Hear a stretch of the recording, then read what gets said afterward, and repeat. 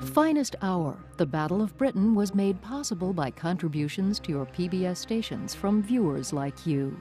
Thank you.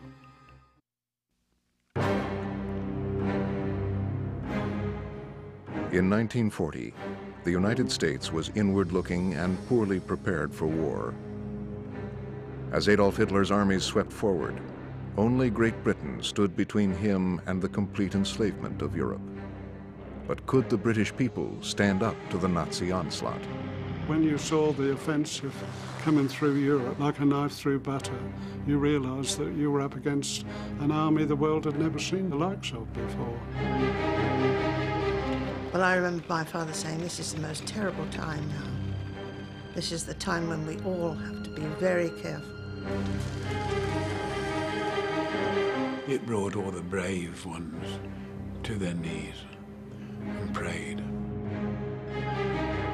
We went about rather numb for a while. We certainly felt in our hearts that we were going to be reduced to rubble. At Europe's moment of greatest peril, a generation of young men and women faced a daunting challenge. The fate of the world lay in their hands.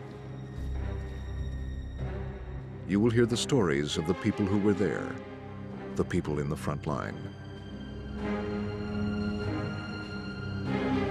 The one thing we were not going to do was to surrender. We were going to get back to our own troops somehow. We had to win the war, and we were determined to do it, whatever happened. Everybody was going to fight right to the bitter end, killed or be killed, in fact. They were killing us, and, and, and we had to kill them.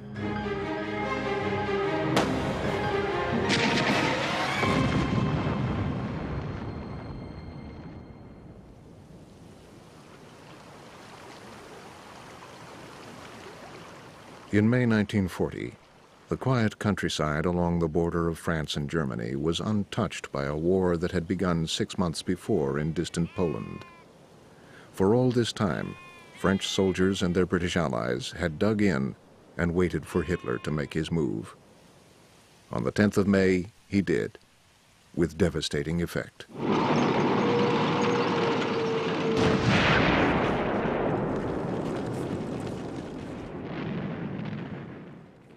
One of the British soldiers directly in the path of the attack was 20-year-old Ernie Leggett, a farm laborer's son from Norfolk who had joined the Army to escape unemployment.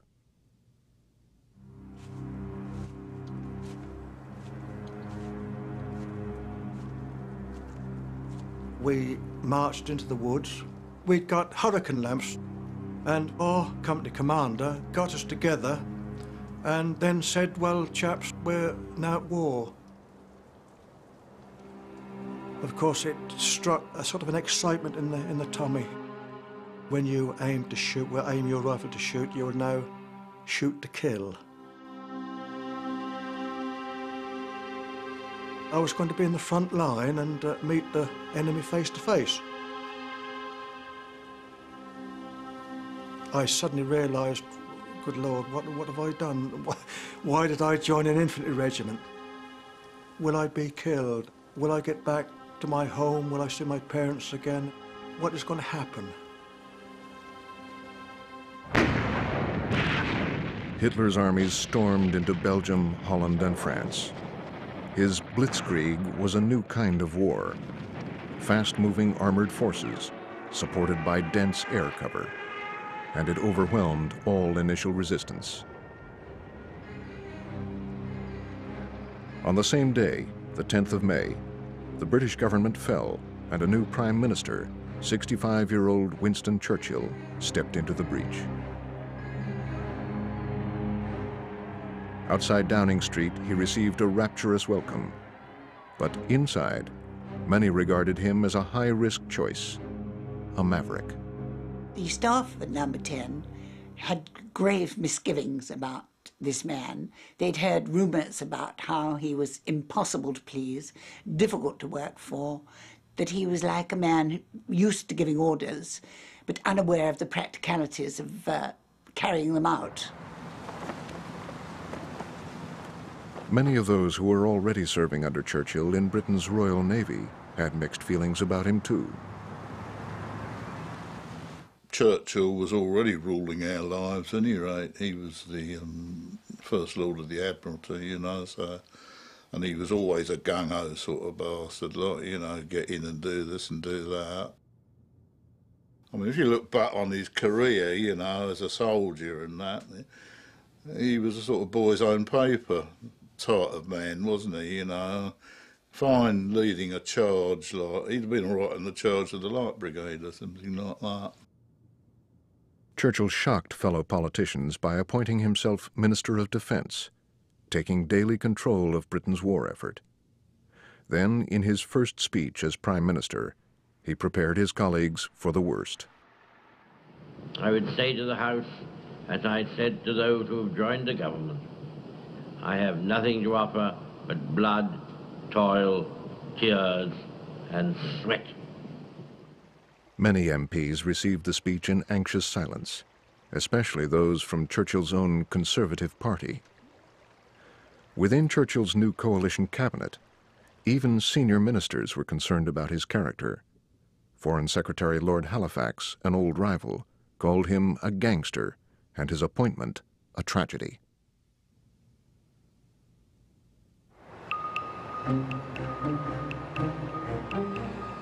From the moment he took office, Churchill's principal international objective was to bring the United States into the war, either as an ally or as a source of much-needed economic and military aid.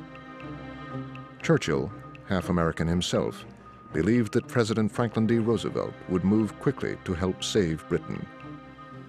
But a presidential election was just months away, and Roosevelt needed the votes of the majority of Americans who wanted no part in another foreign war.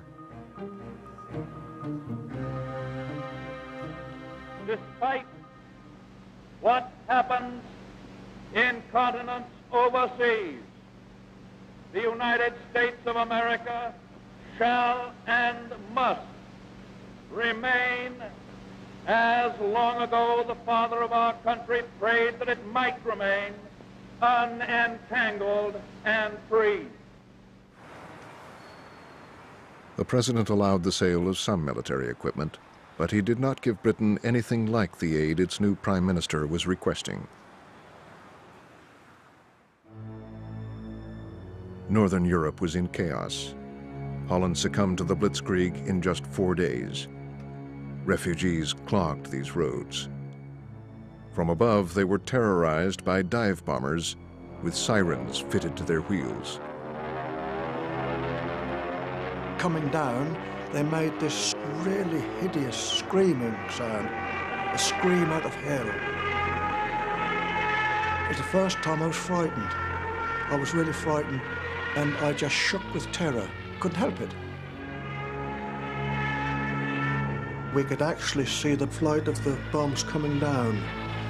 And because uh, as they hit the ground, there, there were men, women, children, horses going up in the air and uh, coming down again totally mutilated.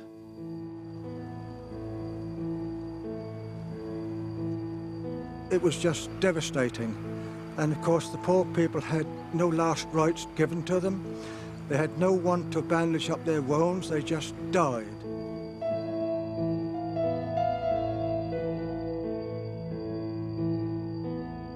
As the German attacks intensified, more British troops were caught up in the turmoil. One shocked soldier reported what he saw to his officer, Peter Vaux. He said, I was on my motorcycle doing a job for the colonel, and I was blown off my motorcycle. And I found myself beside a little boy of about five, and he'd had his legs blown off, and he was blinded in one eye, and he was in terrible pain. And I took him in my arms, and I could see he was dying. And I took out my revolver and I shot him, sir. I did do right, didn't I? He said. I said, yes, you did do right. I would have done the same.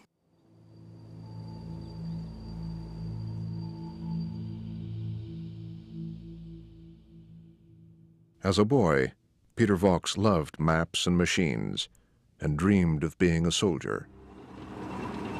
23 years old, he was now a reconnaissance officer. As the German columns advanced deep into France and Belgium, it was Vaux's job to look for them. That was a creepy experience, traveling through this empty countryside.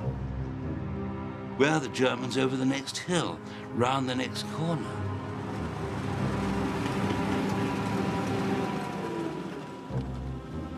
When Peter Vaux finally spotted the Germans near the French-Belgium border, he was ordered to plot his regiment's route into battle. It was quite a responsibility for young Second Lieutenant Vaux to be taking the whole regiment into battle with his map and his compass, hoping to God he got it right.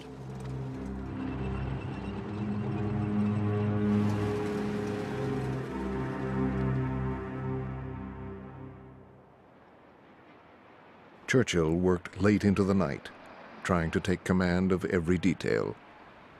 One evening, 18-year-old Secretary Marion Holmes was introduced to her new boss. This is Miss Holmes, uh, Mr. Churchill. This is Miss Holmes, Prime Minister. And Churchill was sitting in this deep armchair, absorbed in a document. Completely absorbed. He didn't even look up or answer. And then, without any warning, he started to dictate. So I typed away. And bear in mind, it was not easy to hear Churchill because often he'd abandoned his dentures. he had a slight speech impediment and he might at that moment be smoking a cigar. So I typed away and he said, give me. See, and I, I just took the minute or directive, whatever it was, over to him and went for the door. And there was this explosion behind me. Where are you going? I've hardly started. And then he looked up and I looked I was transfixed, wide-eyed and transfixed. And then he said, the whole face, that fantastic face, cherubic face, changed to this marvellous smile. He said, oh, I'm so sorry. What was your name? Mm, I said, Miss Holmes. We sit down. And then he kept looking at me over his glasses, you see. And he said, you must never be frightened of me when I snap. I'm not thinking of you. I'm thinking of the work. As he learnt more about Britain's military weakness, Churchill's cables to Washington became ever more demanding. But Roosevelt's evasive answers generated frustration inside Downing Street. Washington's man in London was Ambassador Joseph Kennedy, father of future President John F. Kennedy. He was sending Roosevelt a stream of messages predicting a quick victory for Hitler. Kennedy was an isolationist who believed that America had no place in Europe's incessant wars. If you think I sound like I'm 100% isolationist, he said, if there's such a thing as a 1,000% isolationist, I'm that. Looking back, I find it terribly hard to put any finger on what, what Joe Kennedy really believed. I don't think he was a profound thinker to start with. As he said in one of his speeches somewhere, we're just going to have to learn to get along with dictators. They're just going to have to learn to get along with us. Joseph Kennedy, the American ambassador in London, was considered to be a, a defeatist. But one can well see why. But in our dire situation, facing, as Churchill called it, the unbroken might of the German army, uh, and ill prepared, it, it was pure logic. For the moment, Kennedy's logic appeared correct. News reaching Downing Street grew worse. The Belgian army was being routed. The French were falling back towards Paris. But Churchill was irrepressible, and some who had first doubted him quickly revised their opinions. He was to be seen coming down the garden path with that great resolve and the, the jutting out chin and the contagious air of of confidence and the job to be done. And very soon indeed, the whole attitude to him changed. It was as if a superhuman current of electricity had gone through number 10 Downing Street. He had this wonderful ability to go into a deep sleep for an hour, sometimes with a black bandage over his eyes, and awake refreshed and he reckoned it gave him two days out of every 24 hours in which to work, and he would then go on until two, three, or four in the morning. Incredible. One has to remember also that this man was already 65 years old. Under Britain's newly amended Defence Regulation 18B, the police have swooped upon the British Union of Fascists' London headquarters.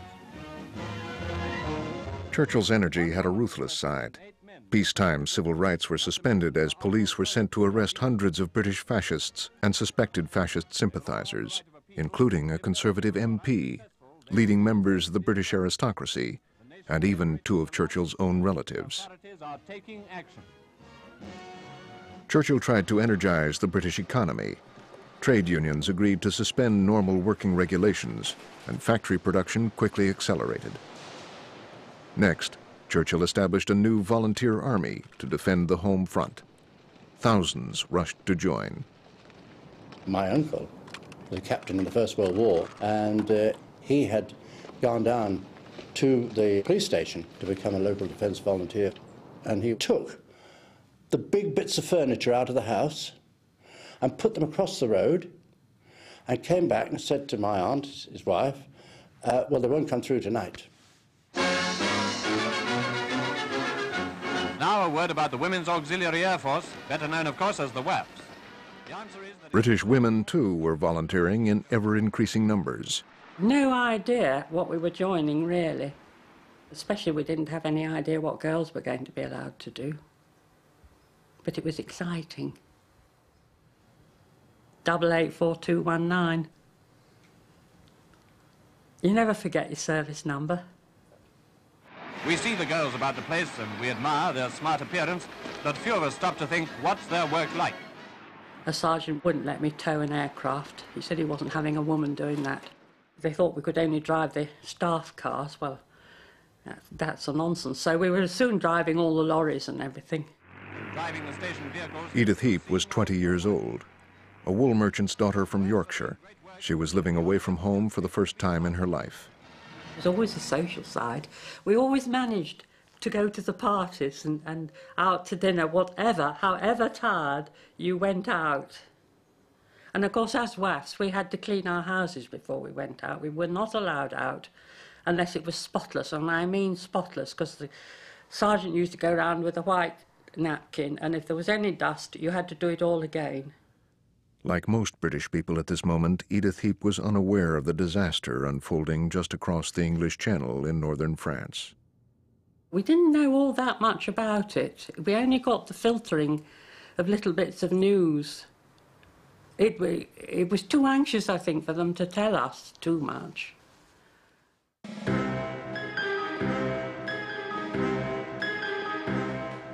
The British Army searched for positions where they could try to halt the German advance.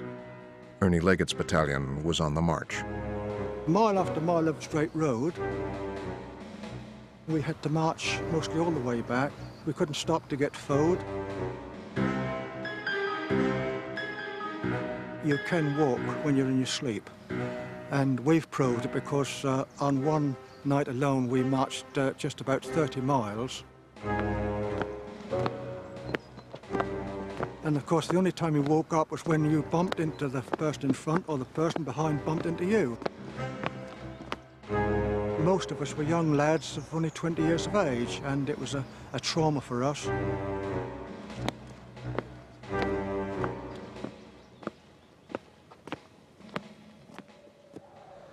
After two days of marching, Leggett's unit was ordered to make a stand at this derelict factory in Belgium we went into what I thought was a cement factory. And of course, we could see well around. In the woods, about 120, 50 yards away, we could see the Germans preparing.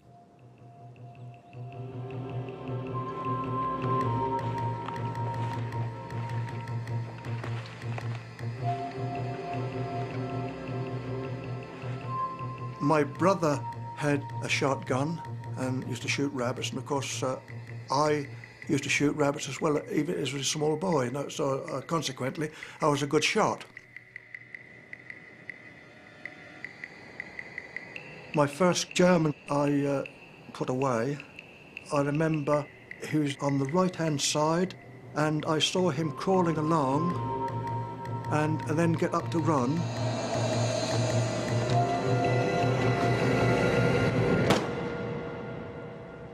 I, I just um, pulled the trigger. See him drop and he was still there, what, a day later. Underneath my breath, I, I uh, muttered the Lord's Prayer, which uh, I, I knew then, I knew it at school by, by heart. Our Father, which art in heaven. Had a wonderful boyhood in the country, out in the rural district of Norfolk. Give us this day our daily bread, and forgive us our trespasses, as we went to Sunday school, went to church. I don't know why. I, I just just went. I had that feeling that um, God was for me. For thine is the kingdom, the power, and the glory, forever and ever. And in our east window, there is the cross keys of St. Peter. Somehow it captivated me, and I couldn't take my mind off it. When we eventually went to France and landed, the first thing I saw was on the wings of our vehicles and everything was the um, cross keys of St. Peter. And immediately I said to myself, Ernie, that is a good omen. You are going to be safe. For the moment, Ernie Leggett was safe. His unit successfully defended its makeshift fortress. But back in London, inside Downing Street, Churchill's cabinet was now planning for the worst. There was enormous anxiety, of course, quiet anxiety. People went about their business there. There was no panic. But this was Churchill's lead. There was a tremendous flow of minutes and, and directives, and there were these labels introduced. Action this day. Report to me on one side of a page. Respectable civil servants were seen actually running down the corridors of Whitehall. Britain was gearing up for total war. Streets and parks filled with men and women practicing to resist air raids, gas attacks, parachute landings. For some children, it was all a great game. Everyone came out into the streets, sandbags appeared, piles of sand. Everyone seemed to be like ants beavering to create sandbags outside their house. And everyone hopped out and filled up the bags, and there we were, working like little beavers. And I remember thinking to myself, this is fun, this is war. They were collecting iron railings. We had iron railings in front of our house, and they were just whipped away one day. My dog thought that was great, because he could hop up and rush out without being penned in anymore. We used to take great pride drawing lines on big sheets of brown paper and cutting up this brown paper and pasting stripes across the window. The object of that, of course, being that if there was a, a bomb blast, the brown paper would hold the glass together. As Britain prepared, the American people were listening to the first radio news reports of German victories in France. The latest French communique reports that there has been incessant fighting in the north, that the Allied troops are carrying out their retreat in what is called good order. And now the latest news direct. First, William L. Shirer reports from the German capital, so go ahead, Berlin. Good evening, this is Berlin. The great Battle of Flanders, as it will probably go down in history, is rapidly nearing its end. The German High Command stated flatly today, with the destruction of the English and French armies still fighting there. Reports of German success fueled a feeling in the United States that Hitler was unstoppable. Listening in a New York townhouse was a young journalist named Whitelaw Reid, whose family owned the influential newspaper, the New York Herald Tribune. Well, it was very depressing news with Germany ripping through Europe the way it did. And in America, people were very pessimistic about England's chances of holding Hitler off. Well, it just made you sort of uh, sick to your stomach. Uh, things were going so badly, and you didn't know how Hitler could be stopped.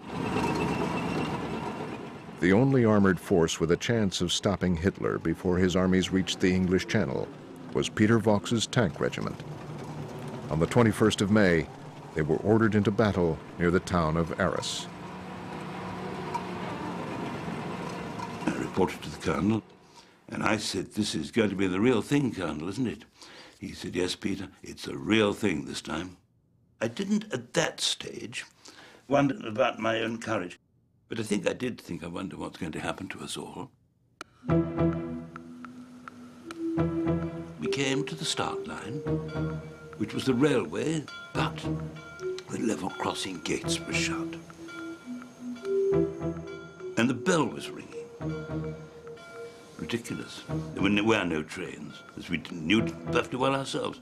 And it, took an old soldier, one of the squadron commanders, to drive straight through those gates and send them flying in all directions. And that stopped the bell ringing. And then everybody went through and over the railway and up a small slope on the other side through some scrub. And there at the top in front of us was a whole stream of German lorries and trucks, and half-tracks, motorcyclists.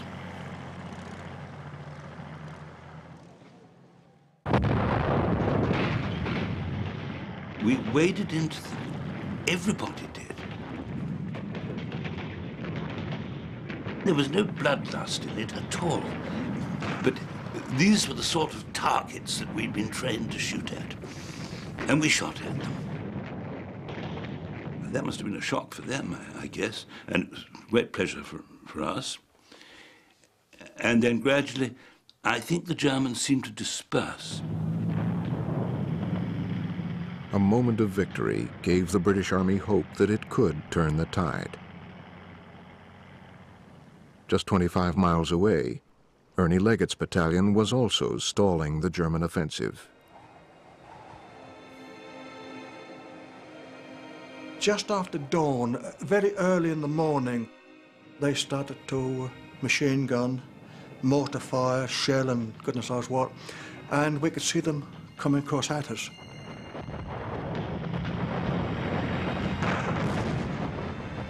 All hell was let loose. And of course, what did we do? We, we had to defend ourselves and we just shot back. In the woods opposite us, we saw them falling, but they couldn't get across the river. I mean, excuse my language, but it was like shooting ducks. We, we, we couldn't help but uh, disperse them. Just shoot to kill. Later on, they came again and they weren't worried about their dead. that They just ran over them. And a sort of uh, sickness sort of enveloped us and thought myself, well, who on earth could do a thing like that?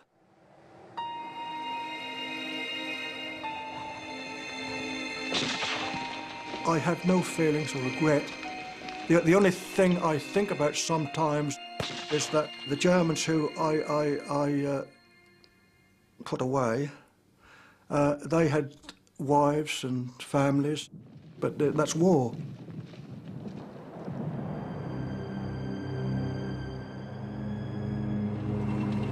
At Arras, British tanks were still advancing when the German commander, General Rommel, launched a powerful counterattack.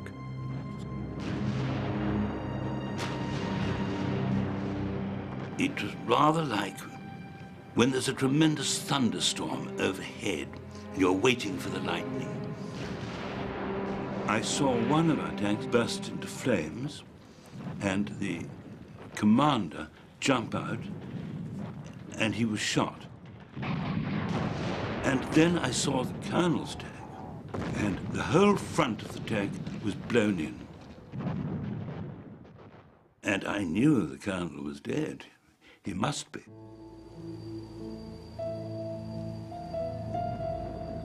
It was at this moment that, as our backs were now to the enemy, one really felt the appalling sense of doom that our regiment really had been destroyed. And It was destroyed right here, right round one. And there were the bodies. It seemed wrong to be leaving the bodies lying there in and on the smouldering tanks. Of the 40 tanks that Peter Vaux had led into battle, only 12 survived.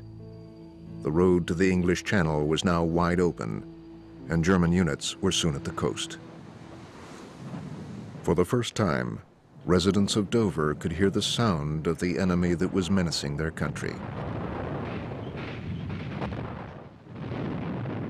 Suddenly, it seemed to burst upon us in Dover. We never realised how bad things were going in France because the propaganda kept it from us.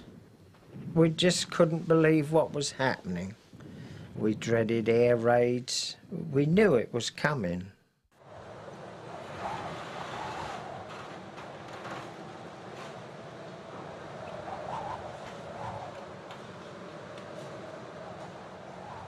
There is a silence between one battle and the next, which is a deadly silence. You can hear even the grass moving. The birds stop singing. Nobody speaks. Everything is so quiet that it's, uh, it's, it's just unbelievable.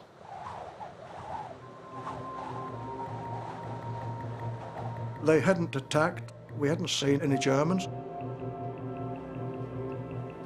The Corporal said to me, Ernie, just nip across to see that the bastards haven't infiltrated on our left flank.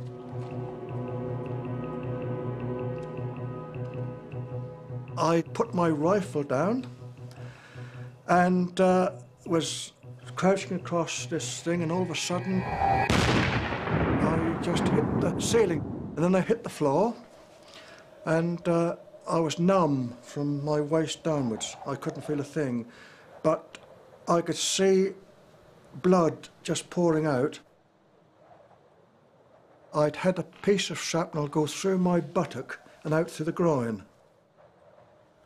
A mortar shell had exploded here, just feet away from Ernie Leggett. It was the first salvo in a fierce new attack on the cement factory. Leggett bleeding heavily, unable to walk, was now trapped.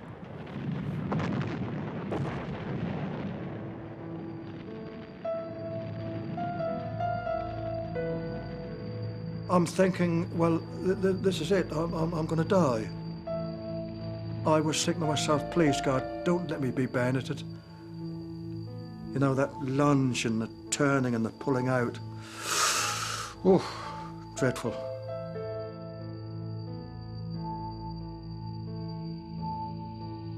I just thought, as my religion let me down and uh, my good omen had gone and, and I was going to die.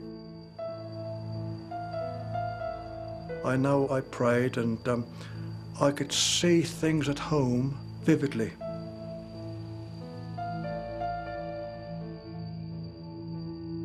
Minutes later, I'd more or less come to myself and uh, thought to myself, well, it's no good here. I can be uh, mortared, I could be shelled, I could be bombed from above. And uh, I got on the opposite side of the railway line and uh, found I couldn't walk, so I started to crawl.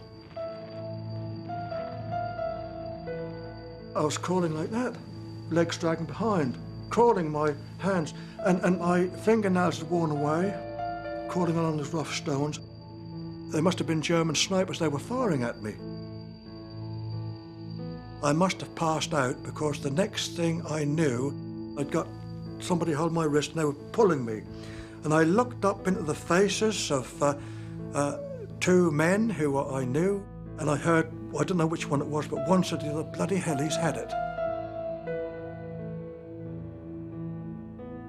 And I involuntarily said, well, please help me.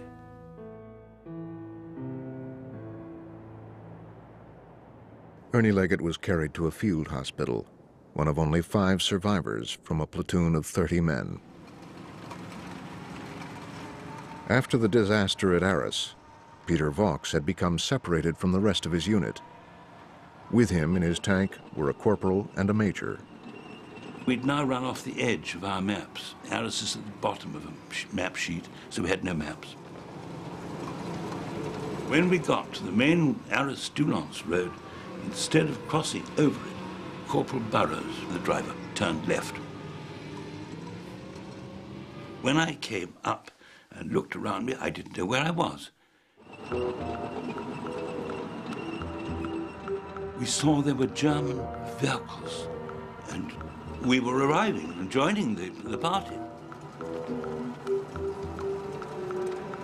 And I really didn't know what to do. But my driver was a wonderful chap. He changed down, and he just moved at a steady 12 miles an hour or so. Remember, it was dark. No lights. Nobody had any lights. And he crashed into the back of the lorry. The men in the lorry all shouted. The officer swore. He cleared the uh, half tracks out of the way. He indicated to us to go on and get the hell out of it. And so we did.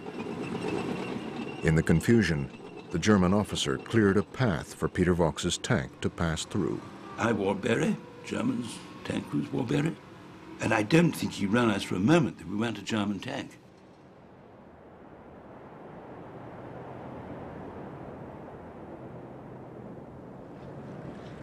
Roosevelt's ambassador in London advised him that Britain could be under German control within weeks.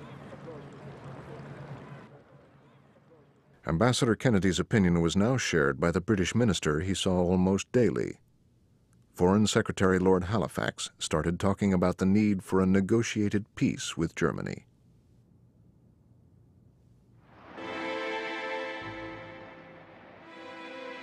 Churchill, too, was growing desperate. He cabled Washington begging for urgent military aid. Without it, he warned, you may have a completely subjugated, Nazified Europe established with astonishing swiftness. But instead of sending Churchill the supplies he was demanding, President Roosevelt launched a secret diplomatic initiative to prepare for Britain's imminent defeat. He turned first to America's northern neighbor, Canada, a self-governing dominion of the British Empire. Roosevelt asked the Canadian government to send an envoy to Washington. A senior diplomat traveled south and was smuggled into the White House. What he heard there was reported back to Ottawa and shocked Canada's Prime Minister, William Mackenzie King. I question if ever in the history of the world a message came back picturing possibilities more appalling than those communications revealed. Roosevelt feared that Britain's Royal Navy, the most powerful fleet in the world, was about to fall into Hitler's hands. He wanted Mackenzie King's government to persuade Churchill not to make what he called a soft peace that would give the Navy to Hitler, but instead to send the fleet over the Atlantic to be based in Canada. The President wanted me to bring pressure to bear on England not to make a soft peace even though it might mean the destruction of England, comparable to that of Poland, Holland, and Belgium, and the killing of those who had refused to make the peace. For a moment, it seemed to me that the United States was seeking to save itself at the expense of Britain.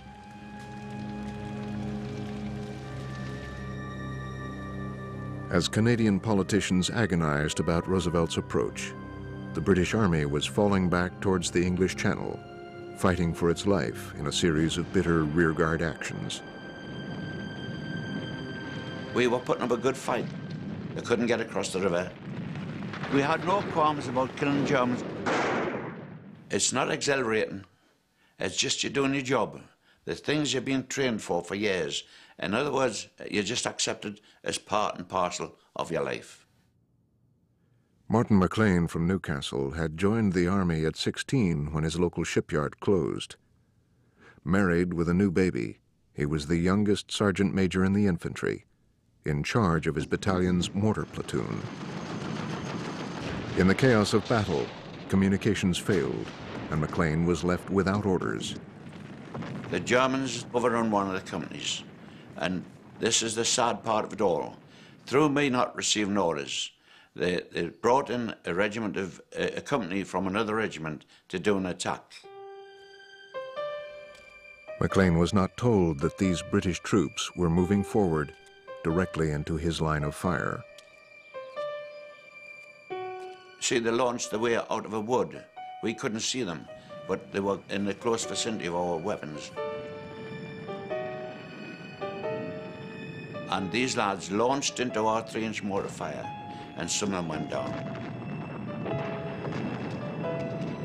And we're still firing the three-inch mortar when they ran into our fire. To this day, nobody knows how many troops were killed in this accident of war. A short while afterwards, when I saw this happen, I'm telling you the honest truth, I drew my pistol out to shoot myself. That's fact. And uh, the men took the pistol off us because I would have killed myself. But I was devastated.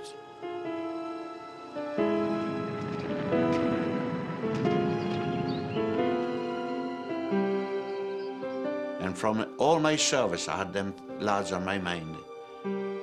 It disturbed my mind quite a lot.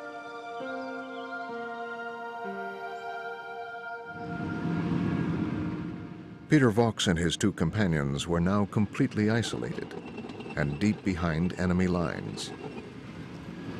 Corporal Burrows, the driver, reported that the petrol was getting very low. And so we thought if we could get to one of the villages where we were billeted, we might find some friends there. We might be able to fill up the tank. If not, um, we'll have to take to our feet. Well, we went to such a village and it, uh, there were German tanks in it. And now Burrows said, it, it shows empty. Uh, we've got to get rid of the tank. And we pulled into an orchard. And the tank was actually spluttering as we did so. The one thing we were not going to do was to surrender. Uh, we, it was bad enough that we went with a regiment. We were not going to surrender, and we were going to get back to our own troops somehow.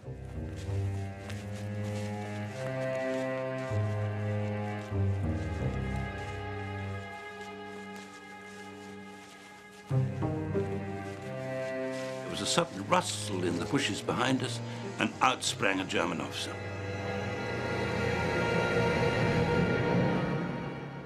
He snatched the binoculars off my neck, but he didn't take the pistol from round my waist. And then he said, go, go, go, tuk, tuk. And uh, we marched off. And we didn't march quite fast enough. He said, go on, go on, schnell, schnell. First was the corporal, uh, then me, and then the major, and the German officer side by side. The major actually dropped behind the German officer and dived into the bushes. And the German turned and fired a shot at him, but he missed.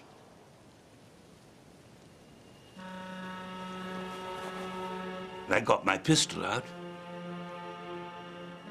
and I was shooting back. And I shot four shots without hitting him. Uh, the fifth shot, when he was still some distance away, went right into his chest. He ran towards me, shooting. To my astonishment, he kept on running, he kept on shooting, he kept on shouting. And he came right up to me and leant against me.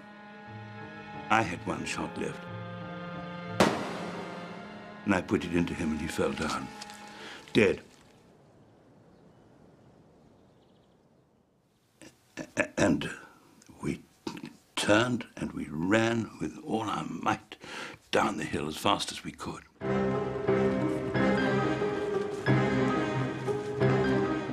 Down the hill we went and arrived at um, a, a ruined abbey at the, down at the bottom, and we hid in there, panting. And only then did I realize that I'd killed this man. And now I did feel an awful feeling of guilt, which was ridiculous because if I hadn't, uh, we'd all have been prisoners and I might have been dead as well. Acting on behalf of President Roosevelt, the Canadian government urged Churchill to make a pledge on the future of his navy, to declare that it would be sent across the Atlantic if Britain lost the war. But Churchill refused.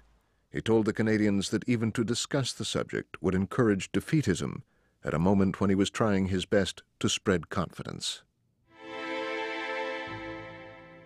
Canadian Prime Minister Mackenzie King was caught uncomfortably between Churchill and Roosevelt. Although the diplomatic circuits buzzed with activity, the result was a bad-tempered stalemate.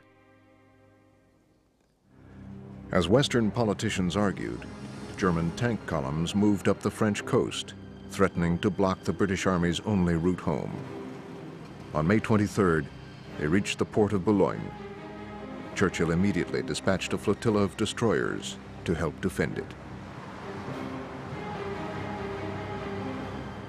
When we reached the estuary there, we found all these French destroyers and they were bombarding and of course we didn't know what they were bombarding but when you looked up on the heights there there was a whole load of um, German tanks and infantry and heaven knows what. Ian Nethercott was a 19-year-old able seaman on board the destroyer HMS Keith. I was on the gun, we were at action stations and as we came in there was some German motorbike troops at the far end just beginning to creep forward onto the jetty, so we opened up on them. And because there was a whole load of arms and legs and bits of motorbike flying around, because two pounder shells make a hell of a mess when you hit someone with them, you know.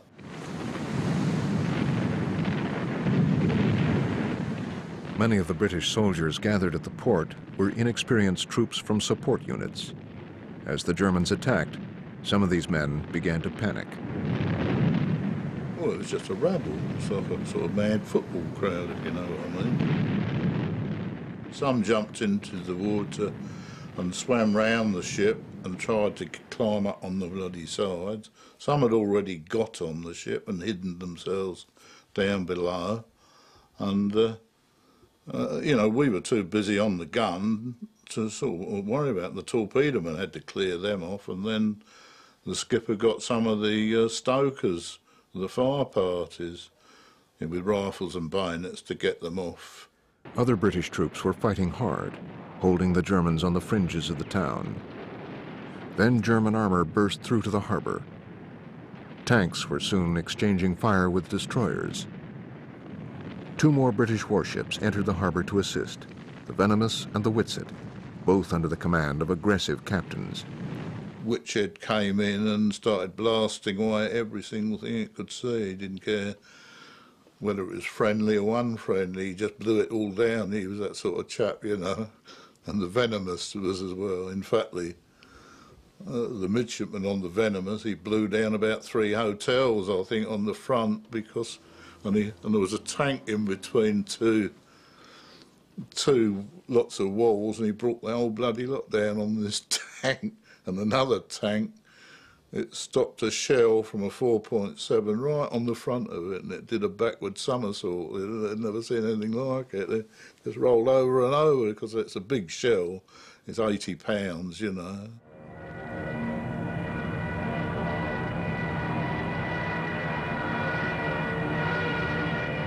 A new menace came from above. Stuka dive bombers.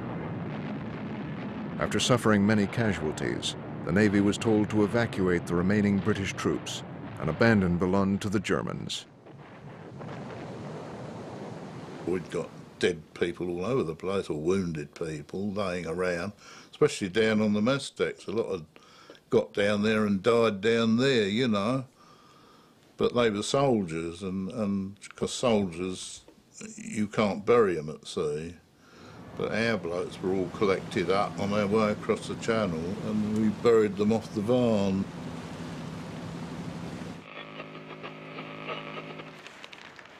It was learned in London this morning that the Germans gained possession of Boulogne last night.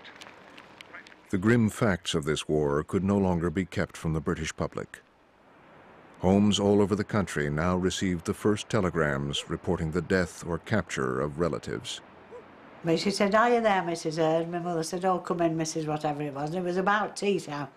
And she sat down with one of those sighs, you know. Hey, I don't know. She said, what's the matter, love? She said, well, he's missing. She said, well, missing isn't... They haven't said he was killed or anything, have? Oh, no, but, I mean, if he's missing. And every day that was the conversation, still missing. Many had to wait for news of missing sons, husbands, or fiancés. I was 17. I was in love. I was. I'd met the man of my dreams. He was tall, dark, very handsome. All we wanted to do was to be together. I used to resent seeing other people walking about who weren't in the army, and I used to realise, well, that's not fair because they've got their job to do the same as he has. But you couldn't help but feel that. My mother went to the front door. It must have been raining for our front door to be shut. And she said, hello, but I can't think what her name was. Come in a minute, love. What a terrible day, isn't it? She shut the front door and then she came. And she said, what are you looking so cheerful about? She said, he's a prisoner of war. We knew she meant. And my mother said, oh, well, there you are. Then she said, they'll not shoot him, they won't kill him, will they? said, oh, no, no, they go in a camp and he'll be fed and everything. My mother having no idea what the hell they did with them, with them you know. Mrs. Comforter, my mother was. In France, the German army was closing in from every side. A few miles inland, Martin McLean's battalion was running short of ammunition, medical supplies, and hope. There was a really big battle going on. And the Germans were well in among us then, by this time. The men were coming out wounded. And uh, one of my lads was shot in the privates, and the blood was squirting from him down his trouser legs. And he says, Sergeant Major, and he pleaded with us. I said, oh, nothing I can do. I knew he was going to die, and we had, no, we had nothing there to help him. You see, you've got no field dressings, you've got no bandages, what can you do? When a man's dying, he's bleeding quickly, his face strains, white, and you know that he's going to die, so that was it.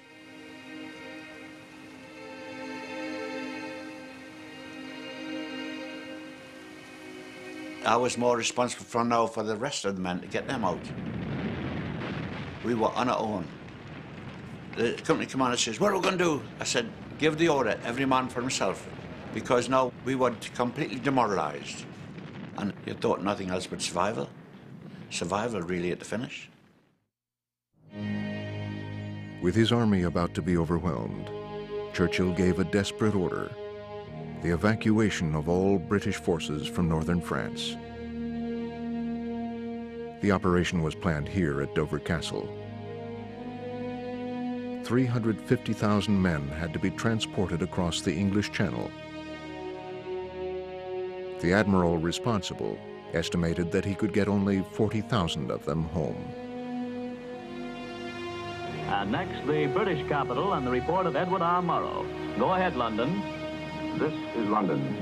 On the home front, new defense measures are being announced almost hourly. Any newspaper opposing the prosecution of the war can now be suppressed. Neutral vessels arriving in British ports are being carefully searched for concealed troops. Refugees arriving from the continent are being closely questioned in an effort to weed out spies. Londoners are doing their best to preserve their sense of humor. But I saw more grave, solemn faces today than I have ever seen in London. Fashionable tea rooms were almost deserted. I saw one woman standing in line waiting for a bus begin to cry, very quietly. She didn't even bother to wipe the tears away. In Regent Street, there was a sandwich man. His sign in big red letters had only three words on it, watch and pray.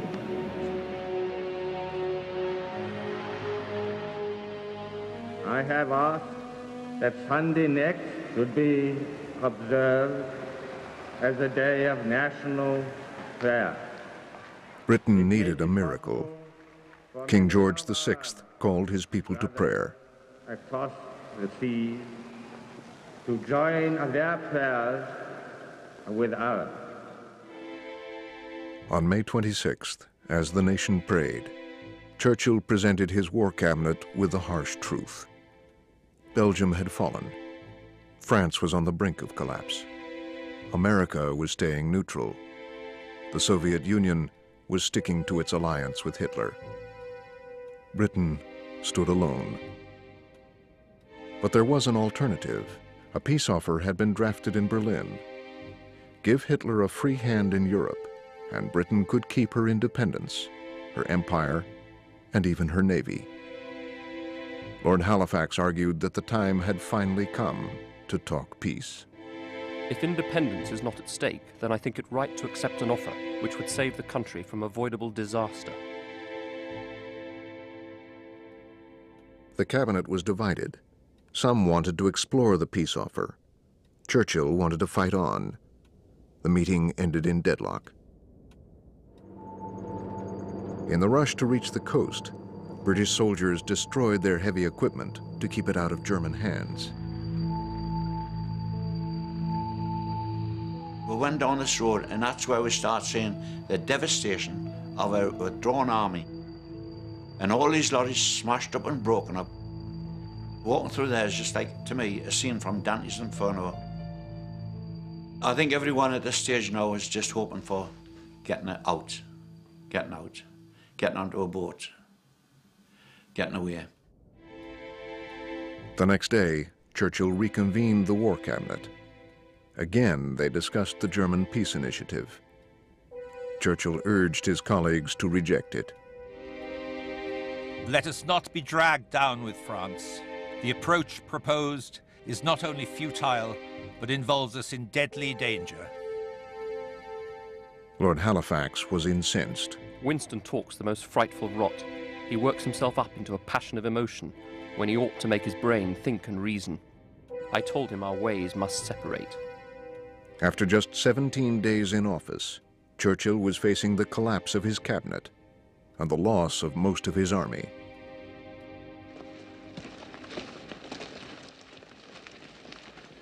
Inside an ambulance packed with wounded men, Ernie Leggett was on his way to the coast.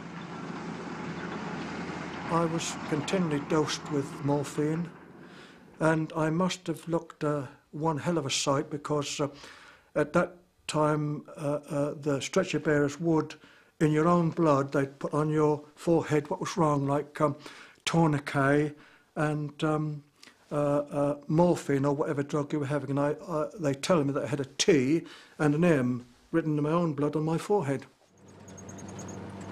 I remember the ambulance being stopped, the back doors open. I don't know where the hell I was. And I was taken across the road and I, I, I knew I was by the sea because I could smell the air. Around the port of Dunkirk, over a third of a million men were waiting for rescue, with little shelter from shelling or air attack. The Royal Navy called for help from the British people. Manned by volunteers from all over the country, hundreds of small boats, trawlers and paddle steamers, pleasure cruisers and tugs set out across the English Channel. As they sailed towards the inferno of Dunkirk, the world held its breath. All around Britain, families feared that their loved ones were about to be lost.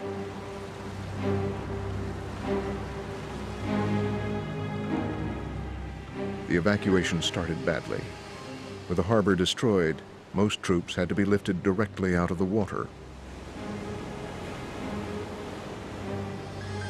The men were standing in a long line right out to the water, and the leading ones were up to here, been standing there for hours, waiting for one boat to come in. And, and the minute it got there, they all hung on to the side and took the bloody boat over, see? So you, you had all this problem of emptying the boat of water and trying to get them in again.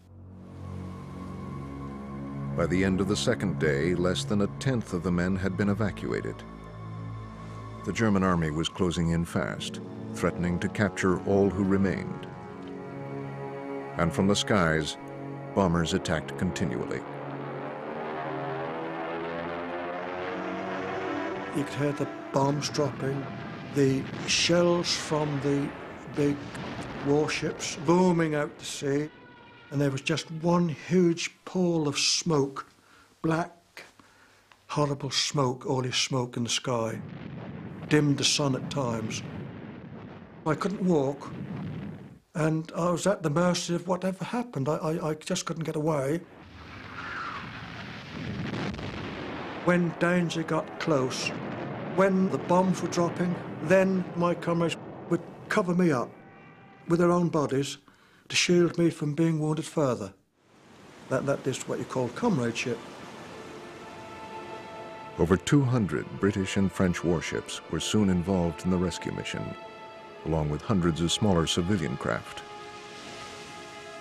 Ian Nethercott's destroyer, HMS Keith, sailed to Dunkirk through waters menaced by German bombs and torpedoes.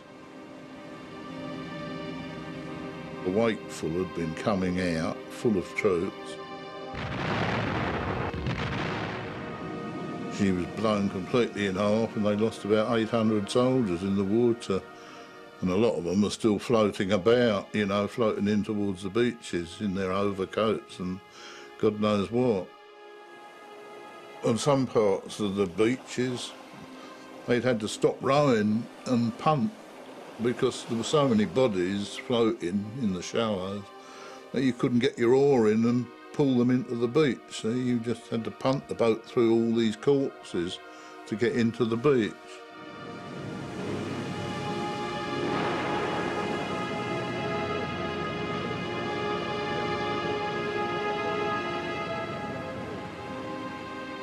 A little cutter pulled alongside a person with a megaphone shouting, You'll all have to go back on the beaches. Nine out of twelve ships have been sunk. And you know, you reel back, ships sank. Tw nine out of twelve. He says, We'll try our best to get you off tomorrow. So back we went.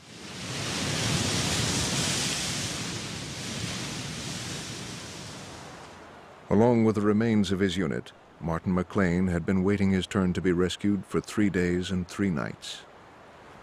We were shocked to think that we were going to be left prisoners of war. I was. And the Germans were shelling, and a, a shell had hit the granite pier. And we come across this pile of French soldiers, and they were all mown down. Blokes on the bottom with legs off, dead, Others piled up moaning. A bloke stuck in the middle with his jugular vein cut here, and he's pleading for help, and the blood squirting from him. We were so shocked we shot off there onto the sand and left them, but we'll come back to do what we could for them. But it was hopeless. They'd killed all these men. What a wasted life.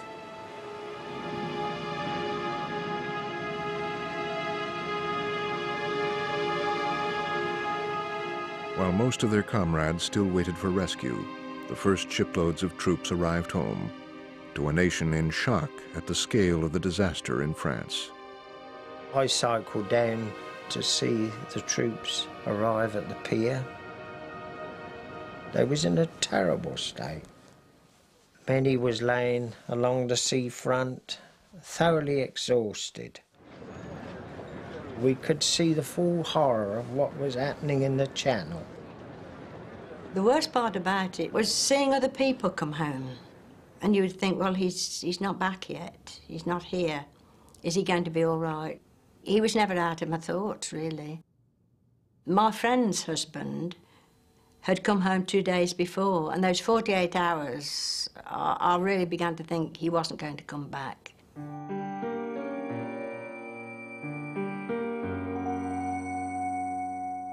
In Downing Street, Churchill also waited anxiously for news.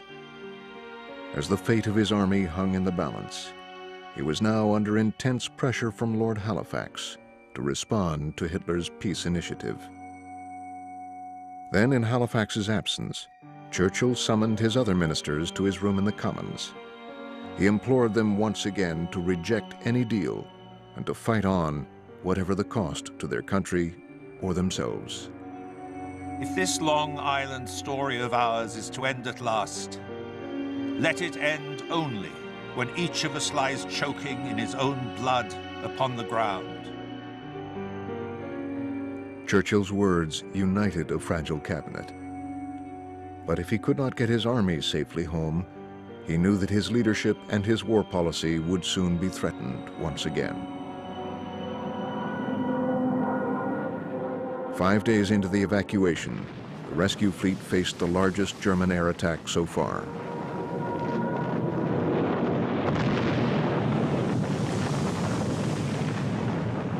We were about a mile off the pierheads at Dunkirk, and when you looked to the north, you could see this great cloud of German aircraft, and, and it, was, it was amazing. There was layer upon layer of them, fighters riding above them.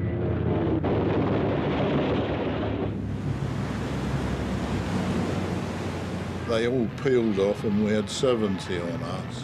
And the skipper worked up to full speed, and he was slinging the ship from side to side. And I just suddenly saw this Stuka appearing over the bridge. Practically, it seemed to be almost touching it. And this great big bloody yellow bomb in its clamps. It was a thousand pounder. Blew a part of the port side in. The next bomb blew up down in the engine room. It killed everyone down there. There was no one alive down there. And the coxswain standing up on the signal deck screaming out, abandon ship. And we took to the water. Already in the water, you'd got survivors from five or six ships. They were all floundering around in the oil, screaming and yelling. And the water was bloody cold. And I'd got this cork life jacket on, which kept me up any rate. And we hung on to this Carley raft and paddled away. And we'd only got a few yards, and uh, a couple of these German Messerschmitts came down, and they just opened up and pointed straight at us, and just blazed away right across the top of the raft and killed the two blokes in it. And I tried to dive under the water to get away and couldn't. I got my head under, but my bloody feet were sticking up. and I got a bullet right through the bloody knee. Anyway, I floated away and I passed out in the water. And when I came to, I was on my own then. And then I thought, well, I don't know, I'm probably going to die. And I had a long talk with my God. And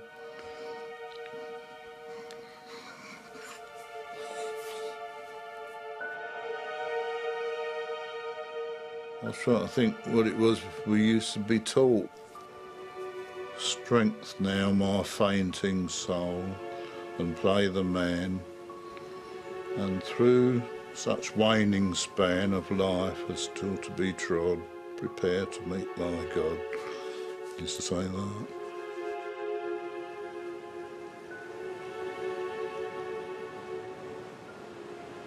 On the day that Ian Nethercott's destroyer was lost, 30 other ships were sunk.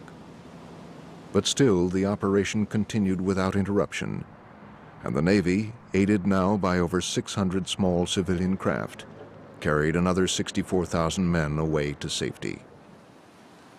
We went, queued up for to get on the boats the next day, and a destroyer pulled in, and it, there's the skipper or the, someone on the, on the bridge shouting, on as you can, jump lads, jump. We jumped in, and the sailors were grabbing us and pulling us in. And I pulled out, and then the bomber came along, and he dropped his bombs. And it straddled the back of the boat, and the back of the, the ship lifted up. The water came over, but we got away all right. After four days waiting without food or shelter, Martin McLean was finally crossing the English Channel. Landed in a, a port, and I shouted up to the man, What place is this, mate? He says, Dover, mate. This is Dover. I couldn't believe it.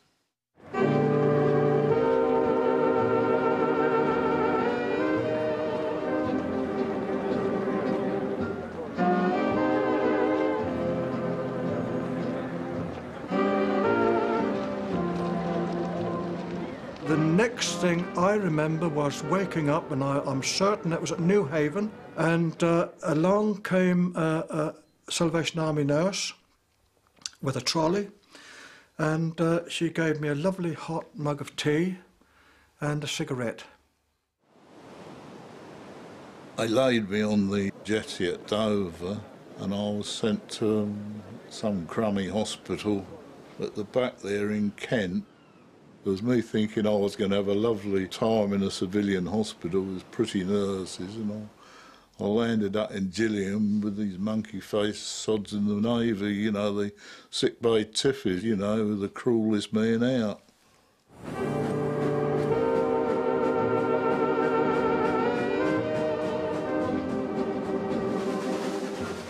Trains from all over southern England were commandeered to take the troops away from the Channel ports. Martin McLean, 300 miles away from home, was desperate to let his wife know that he was safe. We got on the train and I had a, luggage label in my pocket, ordinary tie-on label. And I wrote on there the wife's address and I wrote in the back, arrive safe and Blighty, be seeing you soon I hope. and I slung it out without a stamp on.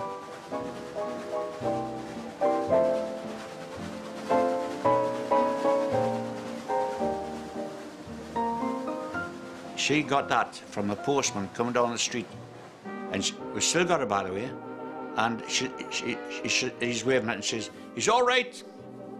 All right. Because when the mail was coming away, was all out looking for it, you know.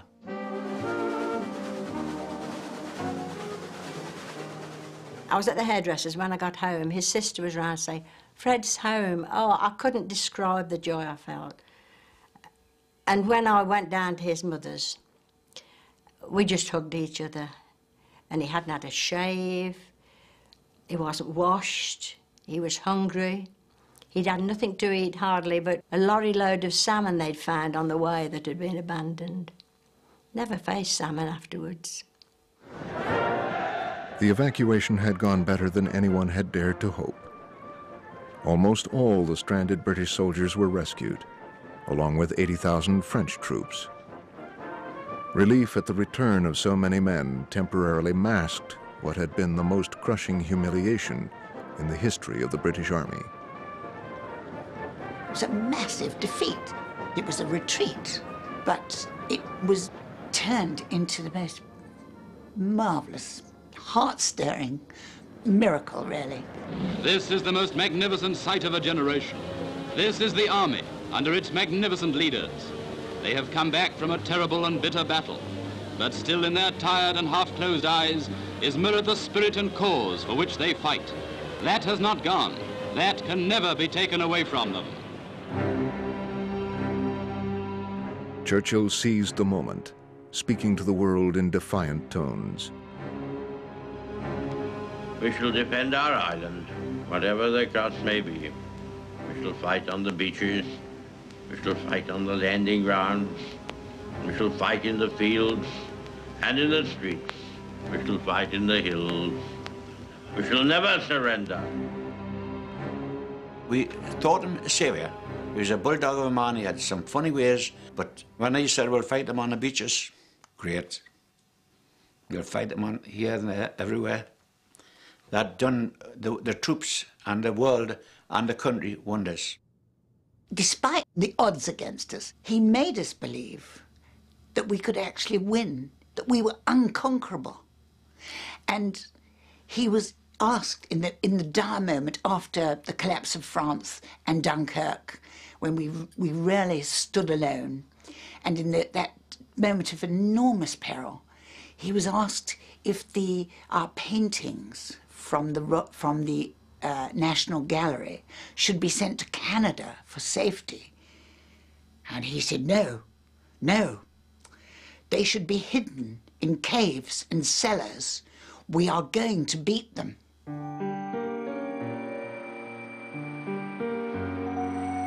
But Lord Halifax was not so sure. He made contingency plans in case Churchill's bravado, as he called it, should fail. Behind the Prime Minister's back, the Foreign Office sent a message to Germany via a Swedish diplomat, keeping open the option of peace talks. Churchill quickly learned of the exchange and was furious. He ordered his ministers to have no such conversations with foreign diplomats, and instead to spread confidence in Britain's ultimate victory at all times. Not every British soldier was home. Peter Vaux was still on the run in German-occupied France. With two comrades from his abandoned tank, he was hiding in an old monastery.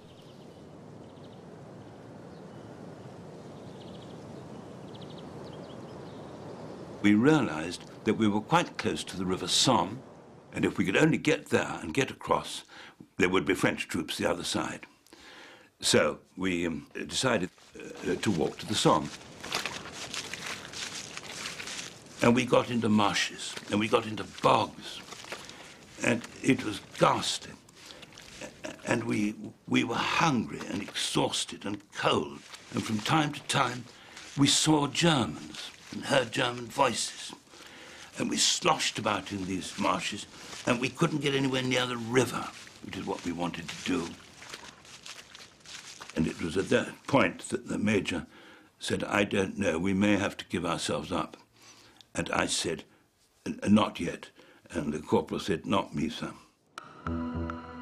The men returned to the monastery.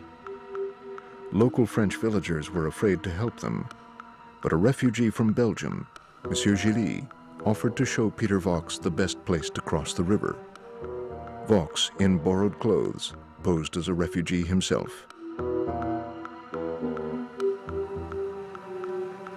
We passed two or three little positions of Germans until we got right down almost to the river bank. You could see the river bank. And there was a German position there with a sergeant major, and uh, they had a machine gun. And he said, well, let's have a look at your identity card. So she produced his identity card. Perfectly in order, of course. And then he turned to me and said, and yours? And this Belgian was superb. He turned on him like a tiger. He said, as he told me afterwards, he said, you are a revolting race. Here is this boy, only speaks Flemish, parents killed by your horrible uh, aeroplanes, walked all the way from Belgium, and you ask him for an identity card? The, German was quite shattered. He said, go on, go on, get away, the you. So we went away. But when I was asked for my identity card, my heart stood still. Peter Vaux rejoined his companions in the monastery. The three fugitives decided to wait until late that night and then try to swim across the river under the cover of darkness. We shall fight in the fields and in the streets. We shall fight in the hills. We shall never surrender. Churchill's words were broadcast in the United States. Journalist Whitelaw Reid listened alongside former President Herbert Hoover. I was very concerned at the time, of course, about Britain, um, and I was thrilled by Churchill's words. Uh, it, it, was a terrific speech, I think, for rallying the forces and rallying people around the world to the, to the English cause. But at that same time, uh, Herbert Hoover was in the household. He, alas, was sort of glum about it, thinking that it was too late and it was too late for America to do anything. And I just got a very negative feeling about his reaction to it all. Anyone in America who wanted to help Britain in 1940 had to contend with the powerful isolationist movement. Under the banner of America First, tens of thousands attended rallies demanding their country's absolute neutrality. The mainstream of isolationism is the America First Committee, one of the most powerful mass movements the U.S. has ever seen. Folk hero Charles Lindbergh symbolizes its grassroots nature. Along with one-time Governor Alfalfa Bill Murray and Montana's Senator Burton Wheeler, he advocates the theory that the policy of isolation is as valid in 1940 as it was in 1776.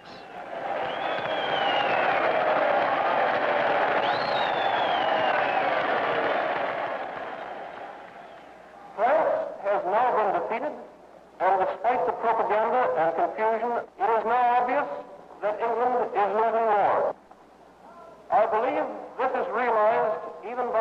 government. But they have one last desperate plan remaining. They hope that they may be able to persuade us to send another American expeditionary force to Europe. I think they believed in a fortress America, that we could be strong and stay on our own. And I thought that um, America should come of age and that we had to become involved and take responsibility for what was going on. There was another reason why Washington did not rush to Britain's aid. Many there were concerned about Winston Churchill's reputation as a heavy drinker. Roosevelt reportedly told his cabinet, I suppose Churchill is the best man that England has, even if he is drunk half the time. He's very unreliable when under the influence of drink. Churchill's enemies in London shared the same anxiety. They believed that the Prime Minister's war policy was driven by bravado, Dutch courage. Downing Street Secretary Marian Holmes saw Churchill every day. Oh, yes, he was a regular drinker. He drank quite a bit of brandy after, but after a huge meal. He drank with food. That was the point. I remember him being served lunch at Chequers. He was very tired and he was working from bed and decided to have lunch in bed. Sardines, which he loved. And uh, there were two carafes on the tray. One had whiskey in it and one had water. And I watched him pour his whiskey onto his sardines, and uh, the water was still in the other carafe. And so I felt this, I've got to intervene here and mention it. He said, Oh, I must be going dotty, you know. But he never drank to the point of being the worse for wear. And I remember him once saying, I've taken more out of alcohol than alcohol has taken out of me. And that really summed it up.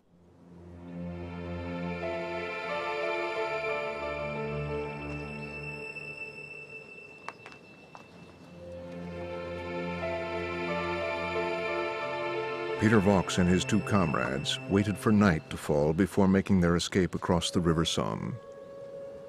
One of them left a memento of his time hiding in the old monastery buildings. That was Corporal Burrows. He came from Wiltshire, and he'd been my driver for a long time.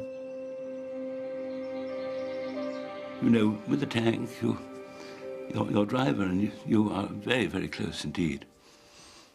The rank doesn't enter into it, really.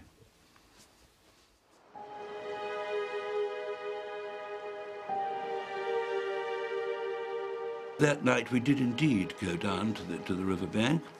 The sergeant major wasn't there, but there were patrols up and down. And we waited and watched them, and we realized there was actually a gap of 10 minutes between the time people went up and down. So we stripped off all our clothes and did them up in a bundle, which the major swam across with. The corporal wasn't a very good swimmer. And I said, I, well, I, I'll help you across. And we set off. But we'd all forgotten one thing, and that was we hadn't eaten now for nearly a week. And we were absolutely exhausted. And I suppose the modern expression would be we were also stressed out. There was no doubt about it. And the, everything went wrong. The major did get across. The corporal began to sink. And I grabbed him by the arms and tried, tried to pull him. And human bodies in water is slippery, and his arms slipped from my hands. I didn't grip tight enough. I just hadn't the strength to do it. And I actually dived in and down and tried to get him back, but I couldn't. And he was gone. I, I failed. And then I don't remember getting out of that river, but somehow I was on, I found myself on the far bank. I longed to have saved him. The things haunted me for the rest of my life.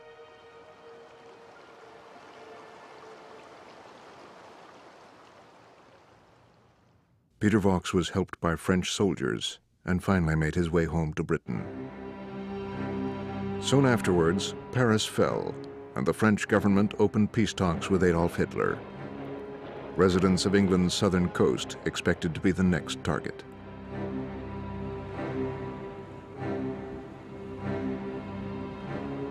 We knew after the defeat of our army, the invasion from Germany was coming.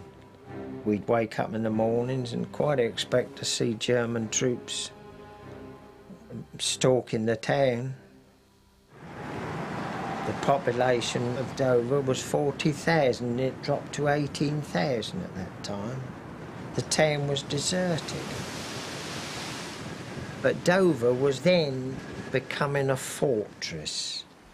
Anti-aircraft batteries, the seafront was barbed wired.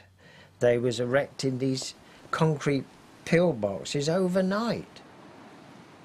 All the hotels at the, at the, at the front at Westcliff uh, had been taken over by the Navy, and uh, the barbed wire was going up all along there. But at that time, um, you saw a lot of the Navy about it. Well, you know, there's somebody here. We're not, we're not going to be left unguarded, as it were, if something happens. For 150 years, Britain's navy had dominated the oceans of the world. But Dunkirk showed that her warships were vulnerable to air power.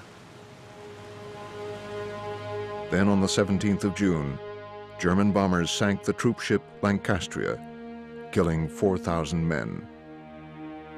For the Royal Navy, it was the greatest single disaster of the war so far. The Prime Minister was shattered by the news. I had seen him suffused in grief at the loss, and he cried. And it takes a very great man, I think, to show his emotions. He was very endearing in a way. With warships on his mind, Churchill cabled President Roosevelt, pleading with him to send Britain 50 old American destroyers kept in storage by the U.S. Navy. Mr. President, I must tell you that in the long history of the world, this is a thing to do now. But Roosevelt refused, saying that Congress and public opinion would still not allow such direct intervention in a foreign war. Meanwhile, Roosevelt's generals carried out secret defense talks with the Canadian government. Talks aimed at bringing the Royal Navy under joint U.S.-Canadian control the moment Britain fell. Many influential Americans were by now thinking of a future without an independent Britain. A top Nazi businessman threw a party at one of New York's finest hotels. Some of the most powerful figures in American industry attended, including executives from General Motors and Henry Ford's son, Edsel. The Nazis' guests were wined and dined and told to expect rich business opportunities in Hitler's New Europe.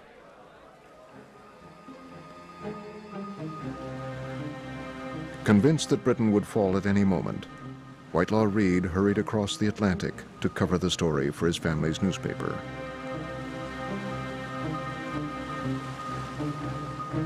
I concluded that the invasion of Britain, which I thought was imminent, was going to be the biggest story since the birth of Christ, and I wanted to be in on it and helping. And I didn't get there for quite a while, so I was very relieved on arriving to find that England was still in one piece. Britain was not only in one piece. Reid soon found that some of its people had been infected with their prime minister's bravado. The customs official seemed uh, totally confident that all would be well, and he said he had taken his daughter in hand and he had shown her how to fit a broom handle into the uh, end of a bottle. And then he broke off the big end of the bottle and he said, if any bloody Nazi comes in my house, he's going to get that right in the face. well, I thought it was unreal. I thought Britain didn't have the means to defend itself at that point, and they're in a kind of fool's paradise. I know at one point I was talking to a woman, and she said she'd put a mattress on top of her tower so if she was going to be hit by a bomb, it would bounce off. For Americans already living in Britain, war dominated every aspect of life. The spring was glorious. I remember having lunch in Chelsea with a dear friend of mine and talking about how beautiful the window boxes were. And I was carrying on about the fantastic colors. They were all so bright and garish and beautiful and heavenly and, and joyous. And he took me and said, come, I'll show you, show you another kind. And we walked around a corner and there were two window boxes in a lovely little Chelsea house that had nothing but the darkest flowers, a kind of a black tulip and a very purple pants and just as dark as they could be. And he said, the woman who lives in this house, her husband, was killed uh, on an aircraft carrier that was sunk, and she said that her window boxes will always be in mourning for him. As London's parks replaced flower beds with barrage balloons, Ambassador Kennedy decided that it was time to send his family and much of his staff home to safety. Joe said at breakfast, he said, I'm going to send you home. And my feelings were absolutely torn because as much as I missed my family, I wanted to stay in England, desperately wanted to stay. A lot of the English uh, drivers were still in the garden and they were talking in their wonderful Cockney. I heard one of the drivers say, Cor blimey, the Uns have got to Paris. And I just burst into tears, you know. It, was it had to happen. I mean, you knew it was going to. But the, uh, it just seemed like such a dreadful moment to think that the Germans were in Paris. Peter Vaux, now back home, found that despite the odds against Britain, his own family had been infected with some of Churchill's defiance. My father said to me, can you get me a pistol? And I did. And he was, and he was an elderly man, of course, but, but they lived in Paignton, they were very close to the beach. He had a sort of feeling that if a German arrived on the beach, he could get one. And Churchill, remember, did say, one of, the, one of his speeches, you can always take one with you. And that would be exactly my father's attitude. He wanted that pistol, and I got him one. Peter Vaux's regiment was ordered to the south coast to resist the expected invasion. His first job was to find places where tanks and their crews could be based. Most people were eager to help, but not all. In many cases, it was people who got quite a lot to lose. Some of them would say, what's the good? Look what they've done in France. They, you won't, you lot, you won't hold them up. They'll be in here in no time. I don't want my house spoiled. But the thing that always, I always remember it was the little people, the farm labourers, the little farmer, and the people in the terraced houses, who were so marvellous. They had so little to give, and they gave it so readily. Here are some factory workers who have organized their own defense corps and drill in their lunch hour. Country... Britain's volunteer army had plenty of fighting spirit, but few modern weapons. I found that men were sitting up nights making fishing poles, and instead of a hook, they put a wad of gunpowder on it. And the idea was they would be hiding in holes every hundred yards or so. And when a tank came rumbling by, caught in the trap, they would cast the gunpowder on the top of the tank and explode it. And that is how primitive some of the defenses in England were at that time. The cables coming into Downing Street from Washington and Ottawa infuriated Churchill. North America's leaders seemed obsessed with what would happen to the Royal Navy once Britain lost the war. Churchill wanted them to help him win it, or at least to help him survive an anxious summer. But the military situation kept getting worse. Italy had declared war on Germany's side, and France had just accepted humiliating peace terms. Churchill's latest fear was that Hitler would seize the powerful French navy, thus threatening Britain's control of the English Channel and clearing a way for the invasion of Britain. It was a moment for decisive action. At the end of June, Churchill ordered his admirals to seize all French ships in British ports, and he sent a powerful force to demand the surrender of the main French battle fleet in the North African port of Oran. Aboard the British battleship HMS Resolution was 18-year-old sailor Sam Patience. We didn't know until the actual sailing that we were going out to engage the French fleet who were trying to get to Brest or whatever, uh, German-occupied France. And uh, we were told the purpose was to go out and stop them from getting it. The French were given the option of neutralizing or scuttling their warships.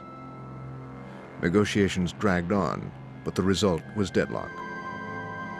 The British admirals were reluctant to open fire on men who had so recently been their allies, but Churchill insisted, ordering his navy to settle the matter quickly.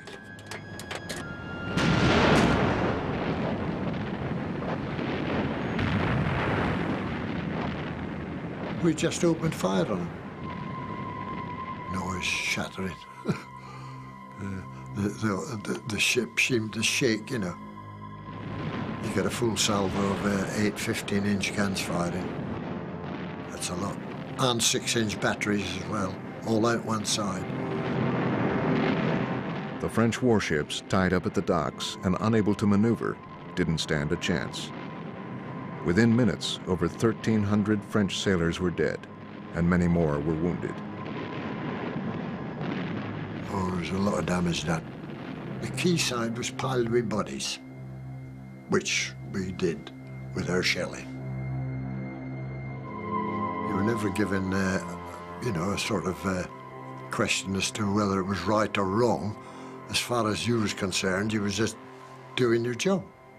The fleet had to be stopped from going over to the Germans. I didn't feel ashamed about doing it at all.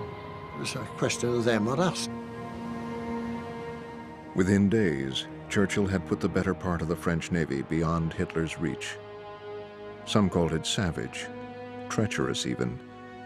But at a critical moment in the war, it swung the balance of naval power back Britain's way. When we heard this business of Oran, we felt it was an awful thing because we'd, after all, uh, I remember thinking at the time we'd seen the French sailors with the red pom-poms on their white hats at Cherbourg when we first landed. It seemed an awful thing to be sinking their ships. But we did understand it, at least we did in the regiment. We understood that it was necessary. Churchill told Parliament that his action at Oran proved once and for all that his government would never make peace. And for the first time since becoming Prime Minister, he was acclaimed from all sides of the House of Commons. The attack on Oran had a profound impact in America, too. After weeks of humiliation for the British cause, here suddenly was proof that Britain still had teeth. One New York newspaper editor wrote, I'm for sending weapons to England, so long as it's run by a Churchill who will fight.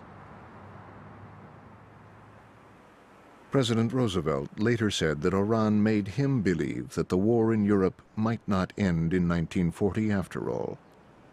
And from July, his policy to Britain took a much more positive line. Realizing that peace was now out of the question, Hitler launched a new offensive. In mid-July, he ordered the Luftwaffe to take control of the English Channel and close it to all British shipping.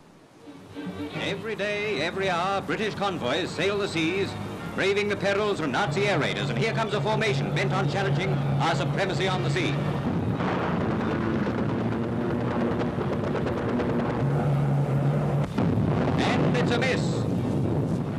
I used to stand on the top of the Western Heights uh, and uh, watch the bombing of the convoys, and I waved my fist up in the air. The German bastards was the word I used. My old mum said, What did I hear you say, Frank? She said, I've never heard you swear before. She said, Don't you ever say that again. I said, Well, that's what everybody's calling them, mum. British fighter squadrons took to the air to protect the Channel convoys. The pilots were guided into battle by RAF ground controllers, assisted by young technicians from the Women's Auxiliary Air Force, like 20-year-old Edith Heap. They had furious battles over the convoys. We used to hear them on, on the uh, RT, and it was like, like a running commentary. We said, look out, there's somebody on your tail. We could hear all that. And, and they'd say, oh, so and so's been shot down. You know, there's a plane going down, there's a parachute, or there isn't one. So you knew exactly what was happening.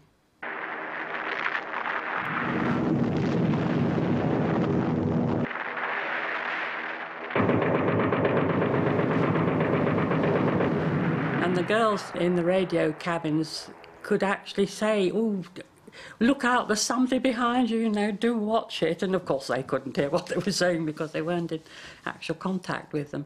But it was very intense. And we also heard all the language that they, that they did, because you swear in battle. You know, uh, buggers and bloodies and, and, and four letter words and all sorts of things. I mean, which, which you're going to say when you're being attacked, aren't you? And, and, and somebody got very uptight about girls hearing all this language. Well, we, we weren't concerned with that. A, we didn't know what it meant. B, we didn't care about that. We only cared about our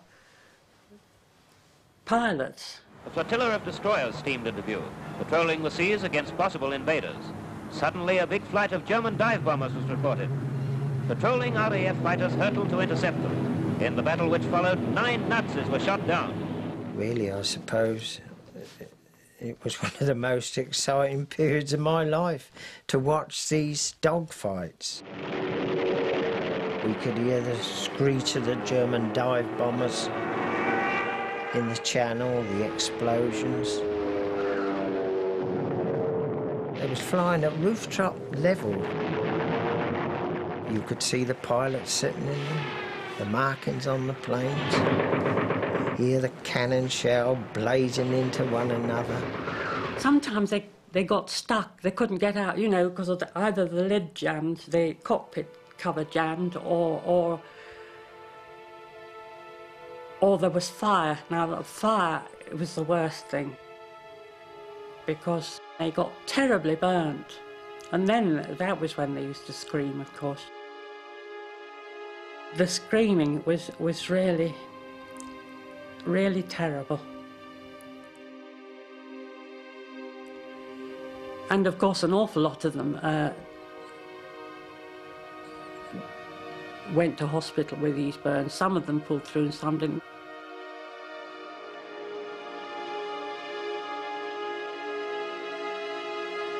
In July, the RAF lost 110 fighters and shot down 140 German planes. Hitler's attempt to dominate the channel was being resisted, but only just. Whitelaw Reid traveled to Dover to cover the story for his newspaper and prepare for the expected invasion.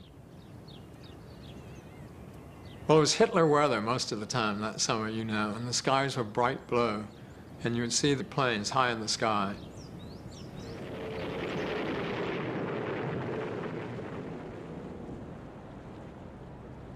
I'd been asked down for the weekend by Secretary of State for War Eden at the time, and I spent Saturday in their uh, front yard with their children, shooting bows and arrows, and watching an occasional uh, fighter, German fighter, come streaking across the sky.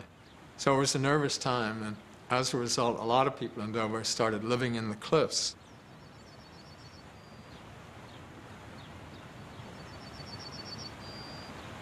I remember the bombing of the Grand Hotel because I was up the street a little ways and I heard things and uh, got myself in the doorway of a shop and there was a great thunderous clap, um, which must have been the bombs hitting the Grand Hotel, I guess, and everything shook around me. Uh, I hoped that uh, the building wouldn't collapse. um, when I came out, why, uh, a lot of the glass looked like sort of new fallen snow in the street. And I went back to the hotel, and one wing was in rubble. Many of the American reporters in Dover began to feel an affinity to the British people in this, their darkest hour. Witnessing the horrors of war firsthand led Whitelaw Reid to conclude that American neutrality must end. The next day, I was going out to Shakespeare Cliff to see some of the dogfights overhead, and all of a sudden there was a terrible screech.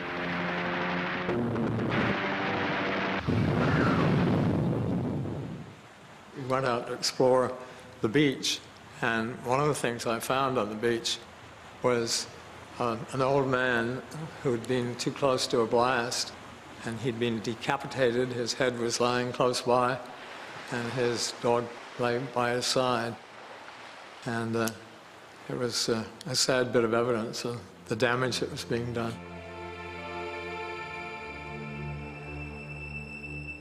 It seemed that the world was on fire and that we ought to do something about it. That Hitler was an evil that had to be eliminated somehow. So progressively, I came to that kind of thinking myself.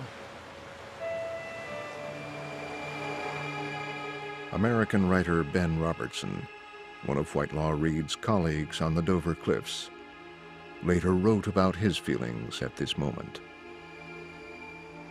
Those were wonderful days in every way.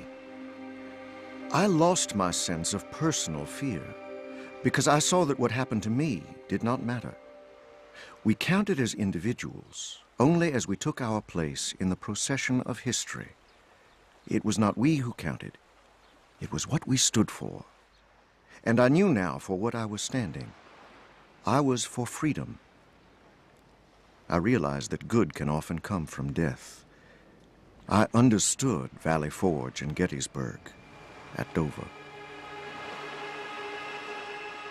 Reports from England began to turn American opinion. Pressure mounted to send substantial aid. But time was running out. From just across the channel, the Germans were planning the biggest air attack in history.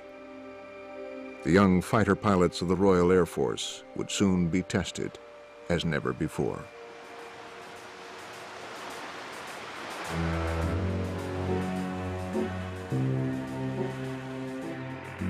The Battle of Britain is about to begin.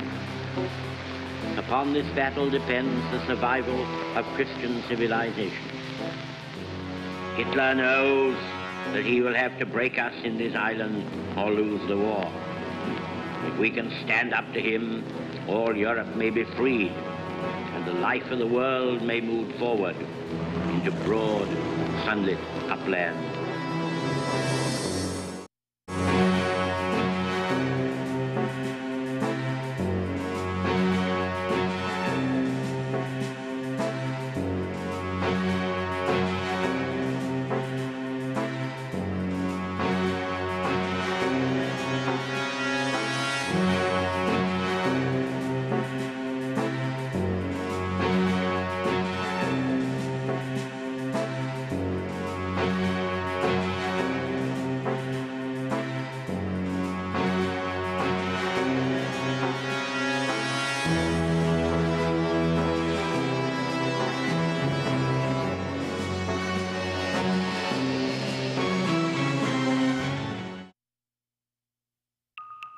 Finest Hour, The Battle of Britain, was made possible by contributions to your PBS stations from viewers like you.